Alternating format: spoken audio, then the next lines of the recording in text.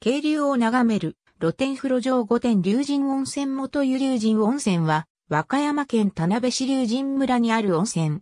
美肌効果の高い泉質で、日本三美人の湯の一つに数えられる。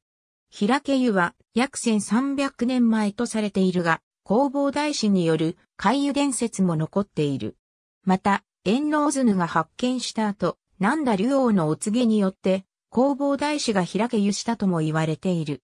江戸時代には、紀の国を統治した紀州藩とも関わりが深く、藩主が当時を行うために、初代藩主、徳川頼信が上御殿、加護殿を作らせた。ただし、藩主の当時は実現せず建物は村民に与えられた。上御殿、加護殿はそれぞれ旅館となった。1999年10月には、上御殿の建物は国の登録有形文化財に登録された。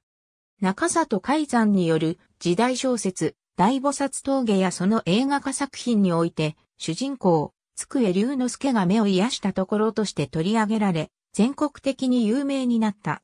1996年5月2日、環境庁国時代26号により、国民保養温泉地に指定された。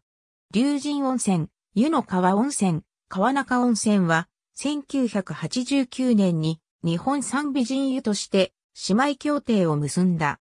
1989年以後持ち回りで美人の湯サミットを開催していたが、2004年のサミットが最後になった。2016年には共同でのプロモーションの試みが行われた。ありがとうございます。